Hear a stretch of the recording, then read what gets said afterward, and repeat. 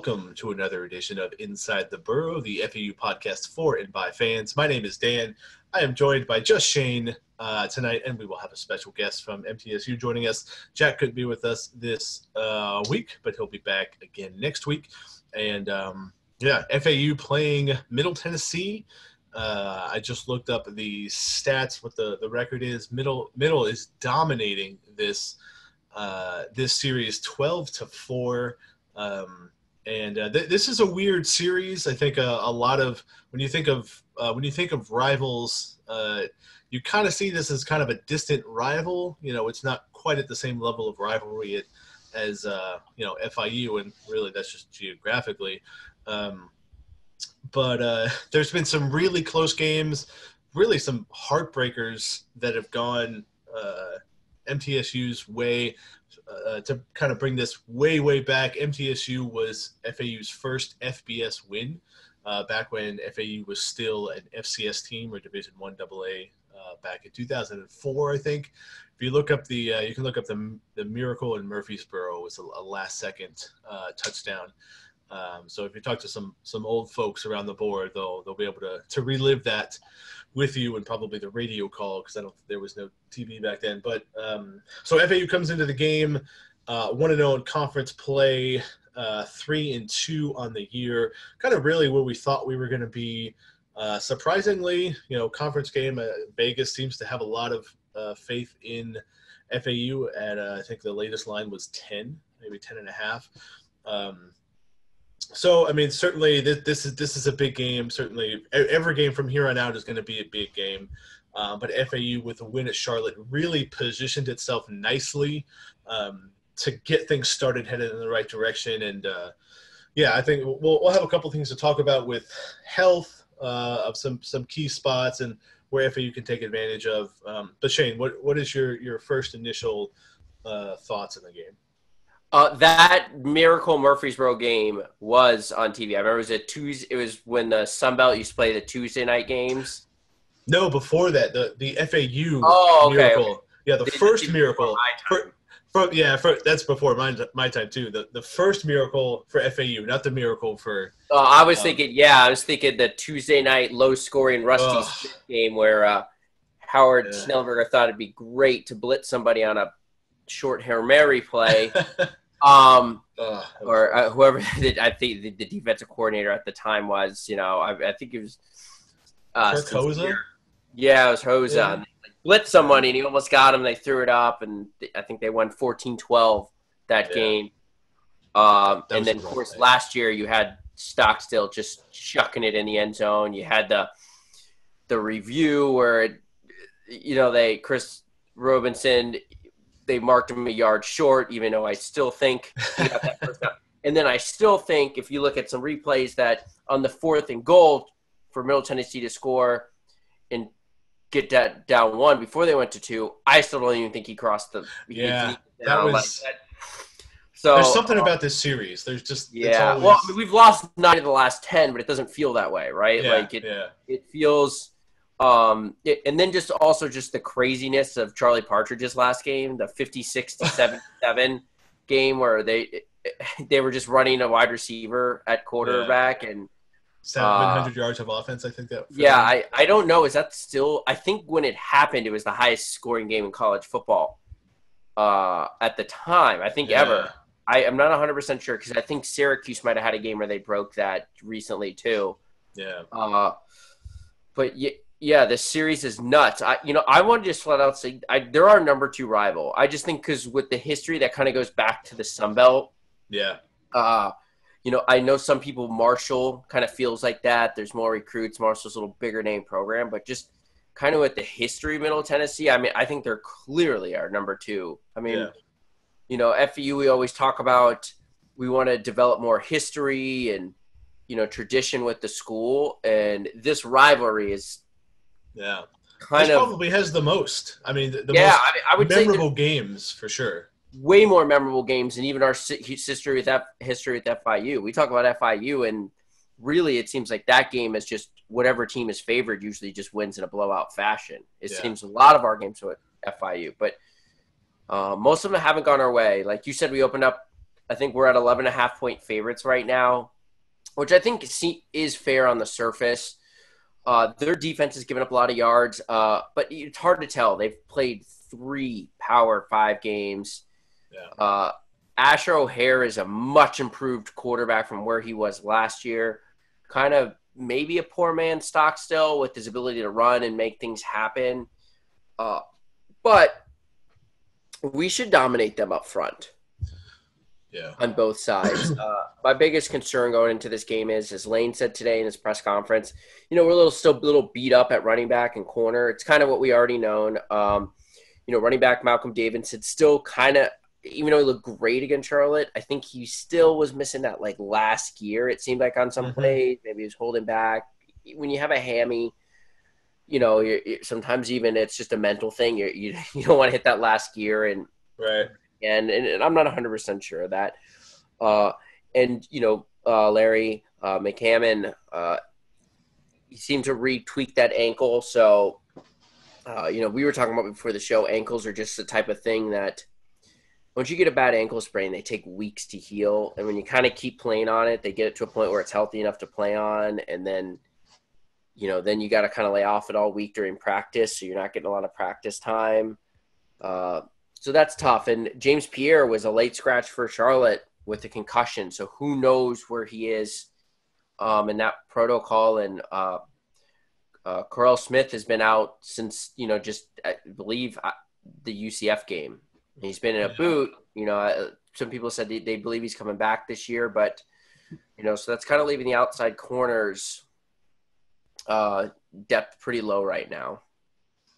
Yeah, I think that's. Uh, I, I mean, fortunately, uh, I think you saw the, the corners specifically uh, against uh, Charlotte really respond, but the the talent level I think is, is going to get amped up a little bit. Uh, Middle does have some some quality wide receivers, certainly more so than Charlotte. So we'll certainly have our um, have our work cut out for us. But I uh, I keep thinking that we, we kind of have an ace up our sleeve in having Brent Stockstill um, be here. I'm I'm curious to see like I, I wonder at what point uh, you know your familial ties like certainly he, he he's been around MTSU for basically well not his whole life but a lot of his life more than half of his life and um, so I, I certainly I, I, think that will that will help in game planning but uh, certainly it's uh, I think will be an interesting dynamic. I, am you know thinking thinking of the offense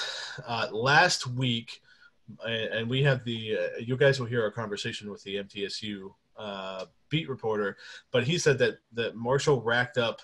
Uh, I think 500 yards of offense. 571. 571. And they only scored 13, 14 points.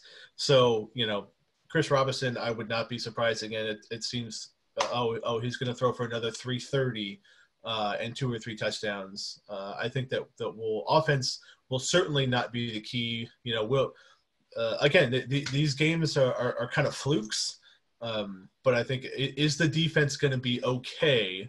Uh, you know, are we going to be okay at corner? Uh, and be able to basically keep them from getting close while FAU kind of extend its leads. I think we can be okay without running backs um, again, be, just because of the way that we uh, are, you know, more pass first. Uh, but uh, yeah, I, I, thought would be an interesting dynamic if we could just keep them at bay long enough to basically keep the game away. I kind of disagree. I think we kind of need to get, as much as I loved it for us to go out there and throw the ball around, I think we kind of need to get close to that 200 yards mark in the okay. game just to control a little bit more. Middle Tennessee offense is good. They have a lot of skill positions their running backs, not that. I mean, Asher O'Hara has, I think, 76 carries on the season. Uh, I thought it was even 60. He has like twice as many carries as their number one running back. Only has 31 on the season. So it seems like at times they just, and granted, they've been down a lot their early games because uh, of that schedule, but it, it seems like they kind of just abandon the run and it's kind of Asher O'Hara just kind of consistently playing backyard football. And when you play a team that you know has an athletic quarterback and plays backyard football, you know if they hit on the right day, they can just kind of yeah. beat you. And we've seen yeah. that with Stockstill. I know it's it's like man, I thought we were going to get rid of this type of quarterback, and just a little alarming we saw against Charlotte that Chris Reynolds is able to make some plays yeah. uh, and kind of these unscripted type plays, you know, down the field. So, and Middle Tennessee's receivers are way better than Mark. I mean, than um, Charlotte. Charlotte, yeah. So, and I even do think to a level, Middle Tennessee's going to get theirs. You know, I, I think you know you walk into this and you say, okay, let's hold them under 25 points. And if we hold them under 25 points, we'll win this game and cover the spread. Yeah. I, I think we're going to get to that 38 40 number. Uh, just don't let them get hot. And the big thing is, we, you know, football's football's a pretty basic sport. We don't turn over the ball, give them those yeah. extra possessions. Uh, you know, and, and I'm always curious to see out of a bye week. I know it's there's a most of the time there's this huge assumption of well, you're supposed to be better out of the bye week, had extra week to prepare and practice and stuff like that. You know, sometimes teams are just better when they're playing game. They get in their rhythm. You know, creature right.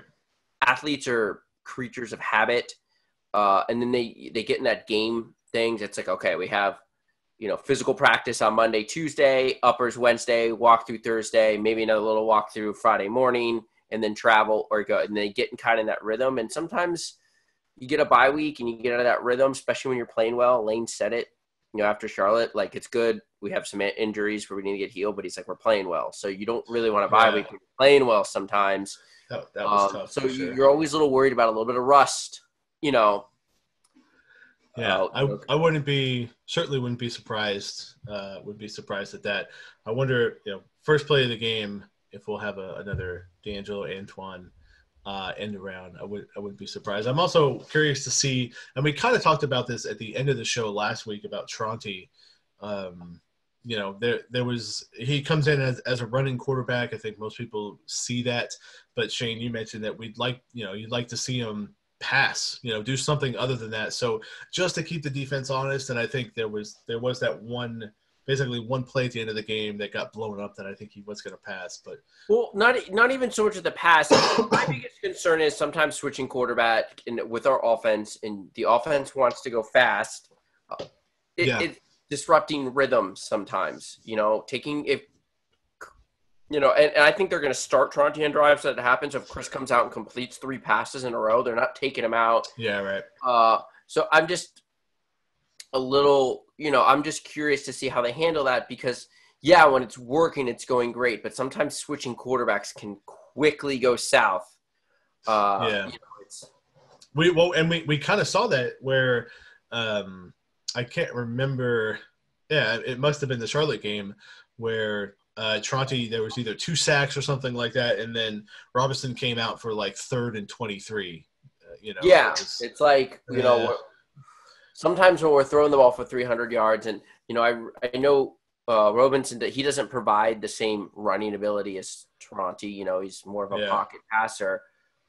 But sometimes it's like, you know, we're, we're, you know, especially this week, uh, MTSU, like we said, they have two good safeties, but you know, we should be able to pick on their corners.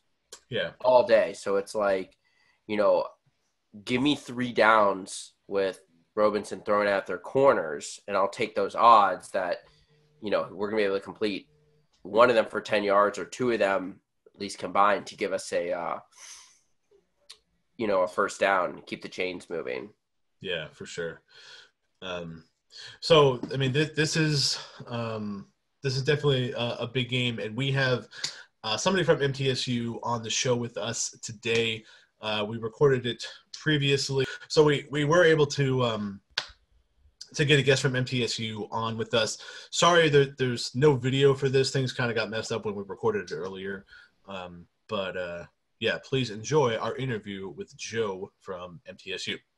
All right, and now we have uh, Joe Spears from the Daily News Journal, uh, who was kind of give, gonna give us some background and some insider information, if you uh, on MTSU. And uh, so, welcome to the show, Joe. Thanks for being on with us. Yeah, absolutely. Um, so I guess we'll, we'll kind of get things started here. Um, you know, I always like to kind of go with some more uh, thousand, you know, ten thousand level uh, foot level uh, question. So, what is your what is your kind of breakdown of the makeup of this team this year? Are they where they are supposed to be, coming off a big win last week? But Um, you know, what's kind of been the the vibe for this year, and where do you think this team is right now as far as you know, are they on pace where they should be, or, or what?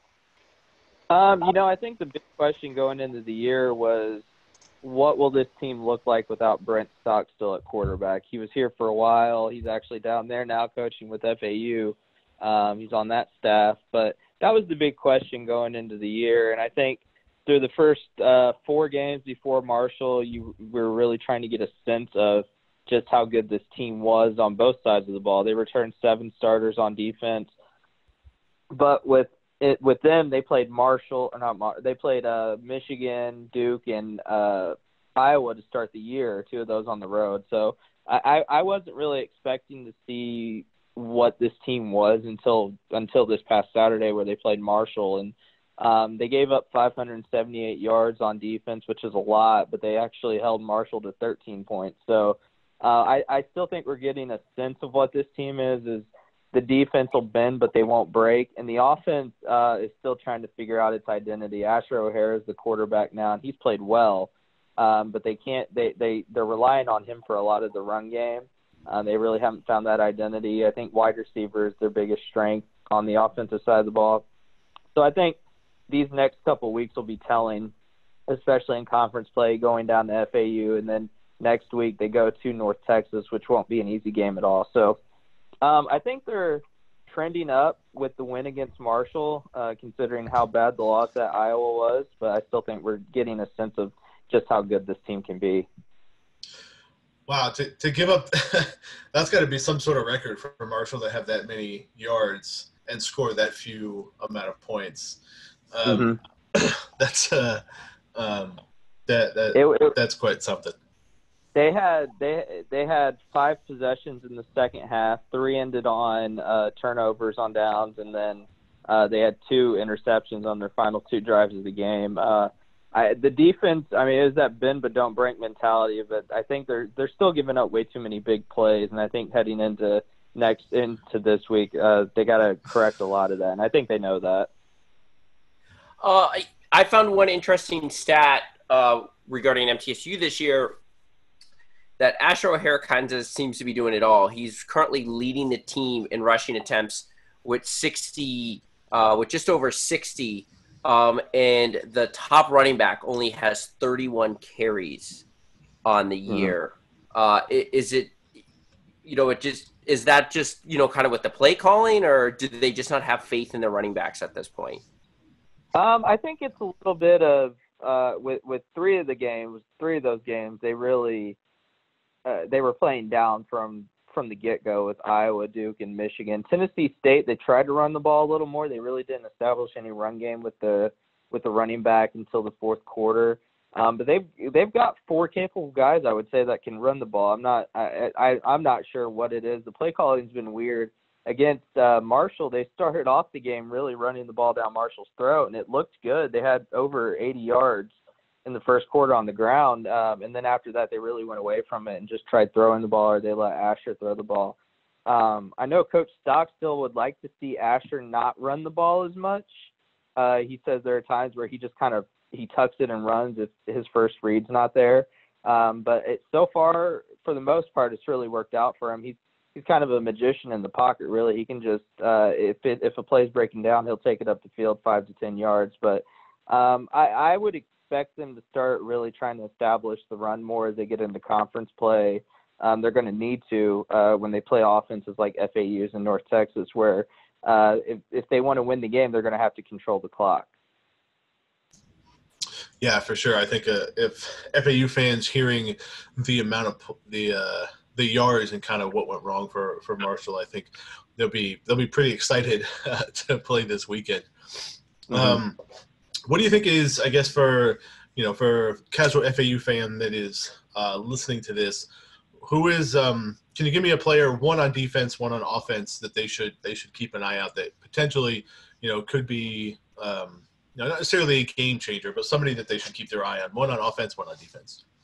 Uh, with defense, you got to look at the safeties. You could go Reed Blankenship or Jovante Moffatt. I would go Moffitt. He's coming off uh, the best game of the year. Uh, he had 14 tackles, a pair of interceptions, and he actually on uh, one of Marshall's fake field goal attempts, he he single-handedly kept that from being a touchdown. So uh, he's really been playing great so far this year. He only played four games last year. He took a redshirt year. Um, I know one of the games was FAU. He played against Marshall last year as well. Had 17 tackles in that game. Uh, but overall, he's playing really well this year, um, and it's really been helpful. Uh, take some of the pressure off Reed, who last year was kind of the go-to guy in the secondary. Um, offensively, I mean, you could look at a guy like Ty Lee, who's been around. One guy that's really impressed me is Jarrin Pierce. He's a JUCO transfer wide receiver from California. He's uh he's been one of Asher's favorite targets this year, and he's not the fastest guy, he's not the biggest guy, but he's got crisp route running, and uh, he doesn't really drop any of the passes thrown his way. He's been really good this year. He's actually leading the team uh, in receptions and yards, and I think he's second on touchdown reception. So um, those two guys have really stood out to me so far this year. Okay, nice. Um, excuse me.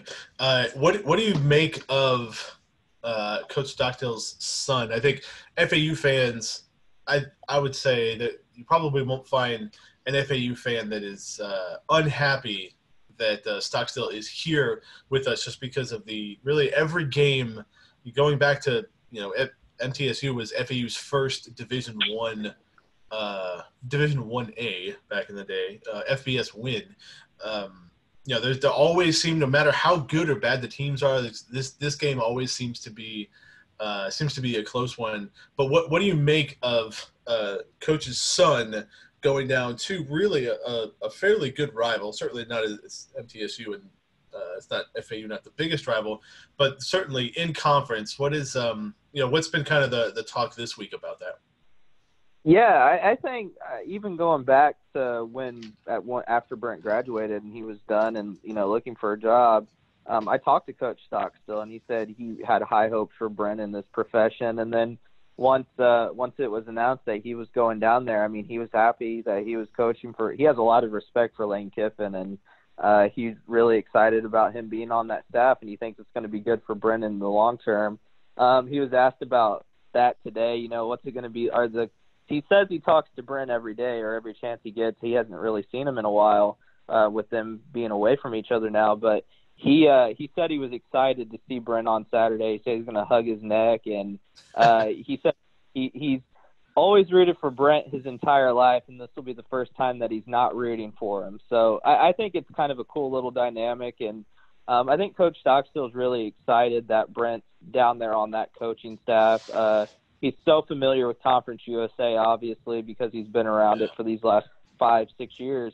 Um and now he's getting to coach and getting to coach against his dad, which that that'll be cool for him, I think. But I think it's a really cool dynamic, and I know Coach Stockstill's really excited about finally seeing him on Saturday, and uh, getting to see him across the way will be really cool for him. Uh, you know, I, I kind of asked you. You mentioned kind of with the the secondary of MTSU, uh, wide receiver has been kind of a surprise, really strong position uh, for FAU. And I know you said, and we know, you know, with Blankenship being back there, uh, but I, you know, we were kind of talking before that MTSU's kind of given up the big play this year. I mean, do you mm-hmm. foresee mm-hmm. kind of MTSU having enough to stop at, you know, all of FAU's weapons and kind of their big plays? Uh, I that's I mean that's a great question. Uh, corner was a position that they were kind of worried about going into the year. I mean, they won't say that, but they lost some guys, and um, they're starting they're starting some guys out there that have never really played. Um, and so far there have been times where they just they just get burned. Um, they're they're really learning the position as it goes. They got a lot of young guys, some freshmen and sophomores out there playing corner. Um, one guy, Desmond Anderson, he's a senior, but this is his first full time starting at corner. Um, so there's been some growing pains there. Um, and like I said, they've been giving up the they've been giving up the big play a lot lately, and Coach Stockstill talked about that being something that they really wanted to address this year. Um, and, and I think a big a big part of them giving up the big play maybe doesn't fall on the shoulders of the corners as much of outside of Marshall, the three games prior to that, they MTSU's really struggled to get pressure on the quarterback. They struggled even against Tennessee State. not a whole lot of pressure, giving the opposing quarterback, whoever it is, a lot of time to throw, and, and in turn, they they've been able to torture him. I remember against Iowa, Nate Stanley, I counted, he had 12 seconds on one play to throw the ball, um, and he ended up hitting a guy for a 30-yard gain. So uh, there I, there was pressure um, against Marshall, but granted, Marshall's quarterback could run. Um, Isaiah, he was he was a great runner, um, and that really torched MTSU for a lot of yards. But uh, I think there have been a lot of growing pains, but I also think that also falls on the front seven as well for not getting pressure on the quarterback. Uh, you know, Stockstill's kind of been there for a while in Middle Tennessee. You know, from an outside outside perspective, and has been kind of a model of consistency. But I know, you know, the fans there probably, you know, from hear and read from the message boards that there's kind of a want for more. I, you know, we know they made the championship game last year. What is kind of the fans feeling with Stockstill right now? Uh, you know, would you say there, there's any sort of hot seat or anything with him right now, or warm, I should say? I, I wouldn't think so, especially with how con, con, uh, consistent they've been. I think with college football in general, when you've had a coach for a while, and um, if you're not winning national championships or a bowl game every year, um, fans get restless. Um, I, I I think that's kind of the feeling, and I, I've talked to Coach Stockstill um, about you know that and getting fans to the game and um, all that stuff. And uh, they did they played just such a tough schedule. I know uh, Michigan, Iowa, and Duke. I mean that was that was, those were three of their four non-conference games this yeah. year, and then last year you get Kentucky at Kentucky, which again they they could have won if not for a couple turnovers. Realistically, they were in that from the beginning. But also Vanderbilt, they went to Vanderbilt and that was a bad loss. But um, they also went to Georgia and they've played Alabama, so they they play a really tough non-conference schedule. Um, so I mean, you lose three or four of those games, and you're already looking at a seven, eight win season, nine win season if you you win out in Conference USA. And I think a, a big thing uh, that isn't really getting looked at is how consistent they've been at home. Last year, they went undefeated at home, um, and they only their only loss at home was the Conference USA Championship to UAB, another game they could have won. So uh, I think, like with any college football program that's had a coach who's been here for a while. I mean, this is Stock's 13th year here, or 14th, 13th or 14th, and there there may be restlessness, but I think there's I think a lot of people view them as you know one of the most consistent programs in Conference USA, uh, even though you know they're not winning 10, 11 games a year. Yeah, those, those non-conference. Uh, I think we talked about this last week on, for, for FAU. Those non-conference games. Uh, that sounds more like a, a Sun Belt schedule than than Conference USA. You know, you have that many money games against that quality of an opponent. Yeah, like FAU used to do that in the Sun Belt where all, mm-hmm. all, basically all four of them were, were that way. So um, yeah, I agree. Yeah. uh, Shane, did you have anything else you wanted to add? Uh, no, I don't. I don't. I think we're good. All right. Well, um, we definitely appreciate you being on the show with us, and uh, we look forward. Are, are you making the trip down to uh, to Boca? I am. I'm flying down Friday night, and I'm hopefully leaving Sunday evening, so I can at least spend one day down there not working. Cool, nice. Well, uh, certainly, uh, Shane and I can can help you out with any uh, with any dinner destinations or, or what beats to go to because there's they're, they're, not all the same. But uh, we we appreciate you being on the show with us. Where can uh, you know if Owl fans or anybody listening to the podcast who wants to uh, hear more from you, where where's the best place for them to get you? Uh, I'm on Twitter at Joe underscore Spear seven, and yeah, I'll have updates throughout the week uh, leading up to the game on there. All right. Um, well, yeah. Again, we appreciate you being on, and um, uh, safe travels. All right. Appreciate it, guys. All right. Thanks. Thank you. All right. Well, we hope you guys enjoyed that uh, interview. I think was kind of uh, interesting to get his take on uh, the coaching, uh, the you know coaching father son dynamic that will happen. I think that that will also be something fun to watch this weekend. But um, so this game, uh, and and we'll you know before we wrap up, I want to talk a little bit about Conference USA, and then we'll also talk about kind of what this game means. But certainly the the biggest one of the biggest things to take away from Conference USA East is Middle Tennessee beating Marshall, you know, certainly putting themselves in the driver's seat. And then for me, Western Kentucky, Western looks good. Um, you know, somehow they're they're three and zero oh in conference. I guess they, they had a conference heavy start to the year, but um, I don't know, Shane. What was your what was your take from this weekend's Conference USA games? Well, I, I think Marshall's kind of a mess right now. Um, as good as Marshall is, is that you know their quarterback situation is. Uh, Western Kentucky's the surprise. Uh, they really ha- don't have an impressive win. I mean, I guess beating but UAB's kind of down this year, and they beat FIU. They're kind of just winning these close games, and their quarterbacks kind of game managing, and their defense is playing uh, sturdy. I, here's the thing: these next two games, we talked about this, and this has been talked about on the forum. This is no uh, mystery take. If FAU wins and you know wins convincingly his next two games, we'll, the East is ours for the taking. It, yeah. it, we're going to kind of run away with it.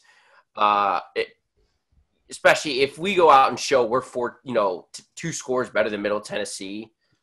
Uh, yeah, we're lining up to see you know FAU Southern Miss, FAU North Texas again. Uh, you know, we we should. I know it's kind of rat poison, but you know we'll, we'll we'll show that we're just clearly better than these other two other teams.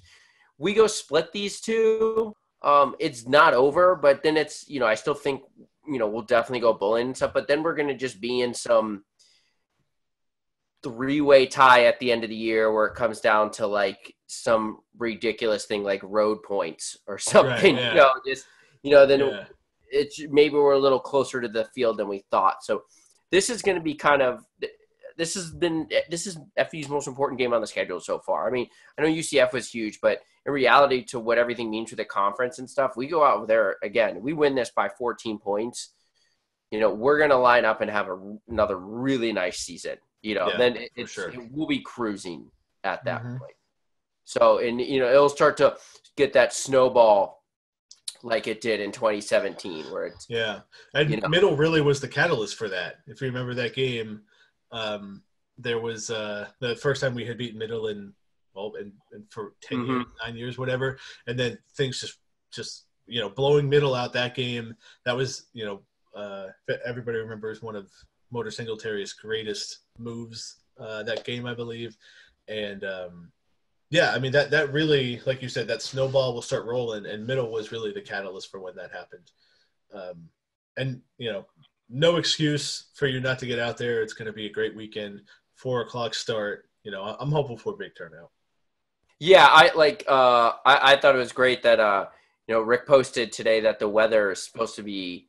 You know, I know FAU. It's always knock on wood with weather, but you know, all the reports were saying that uh, a front's going to try and push its way through, and it's, it's supposed to be rainy all this week. But like Saturday, the humidity is supposed to drop like 20 points, be a couple degrees cooler, and a nice breeze. So we're gonna have like a perfect October day, mid afternoon kickoff time. Really, no big games going against us. They're before or after. So it's it's one of those things where FAU kind of gets like this. If you're in the area, you should you should be at this game. You know, every person that came with you to the UCF game that's an FAU fan, you should be texting me like, "Hey, you coming this week?" Yeah, yeah this, for sure. This will be a, another test for the FAU, um, you know, uh, operations department to see because this this will certainly be it should be uh, a good turnout. We'll have a, a great Florida fall. Uh, where the temperature is roughly the same, but the humidity drops, so it, it's much more bearable outside.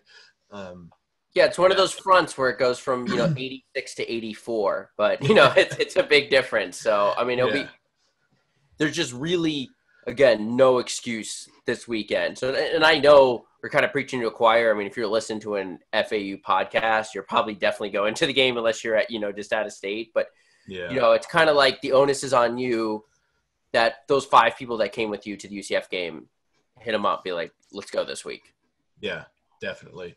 Um, and game is on ESPN Plus for those that are out of town. Um, and make sure, remember that you can listen to uh, the voice of the Owls, Ken LaVicka, on the TuneIn app. Download that um, and check that out. So 4 p.m. Uh, you don't got to get up too early to tailgates. Sun will be going down after halftime. I mean, it's it's really this is uh there's there's no better time of year right now for us, and um, so we're hopeful uh, we're hopeful for a good turnout and uh, certainly the the best result with FAU winning. And um, so yeah, with that, um, we thank you guys for joining us with the show for following along. Again, make sure you check out FAUOwlsNest.com for all the latest recruiting news, uh, which there should be some posted soon this week uh, for all the latest recruiting news for all certainly the the game week thread and um, you know check us out on twitter at inside the burrow and go from there yeah uh Decarius Hawthorne decided to commit just as uh, we started recording this. So, uh, you know, by the time this gets up, there will be a story up. And yeah, keep following for recording. Uh, you know, thanks for everyone that's been following the recruiting news. The uh, one of the Frank Gore videos this weekend got over 30,000 views. Yeah. On the Owl's Nest, which is, you know, pretty awesome. So, yeah, I mean, recruiting's really starting to get uh, hyped up for FAU. Yeah. So, um, again, we thank you guys for joining us, and we will see you next week. Go Owls.